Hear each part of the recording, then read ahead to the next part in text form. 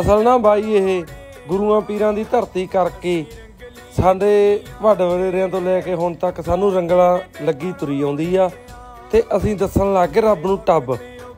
ਪਾਣੀ ਦਾ ਪੈਣਾ ਚਾਹੀਦਾ ਸੋਕਾ।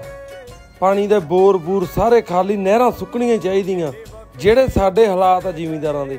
ਚਾਹੇ ਕਿਸੇ ਨੂੰ ਲੱਗੇ ਗੁੱਸਾ, ਕਿਸੇ ਦੀਆਂ ਚਾਰ ਪੰਡਾ ਤੂੜੀ ਦੀਆਂ ਮੱਚੀਆਂ ਨਾ, ਤੇ ਬਹੁਤ ਆਪਾਂ ਹਮਦਰਦੀ ਜਤਾਉਣੇ ਆ, ਯਾਰ ਇਹਦਾ ਜ਼ਿੰਮੇਵਾਰ ਕੌਣ ਆ?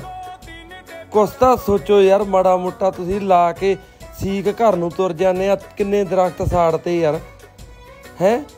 ਤੁਹਾਨੂੰ ਕੁਦਰਤ ਨੇ ਬੜਾ ਕੁਛ ਦਿੱਤਾ। ਪਾਣੀ ਕਿਤੇ ਸੁੱਕ ਜੇ ਖੇਤਾਂ 'ਚੋਂ। ਤੇ ਤੁਹਾਨੂੰ ਪਤਾ ਲੱਗ ਜੇ ਵੀ ਰਾਜਸਥਾਨ ਦੇ ਹੋਰ ਬਾਹਰਲੀਆਂ ਸਟੇਟਾਂ ਦੇ ਕਿਸਾਨ ਕਿਵੇਂ ਕਰਦੇ ਆ।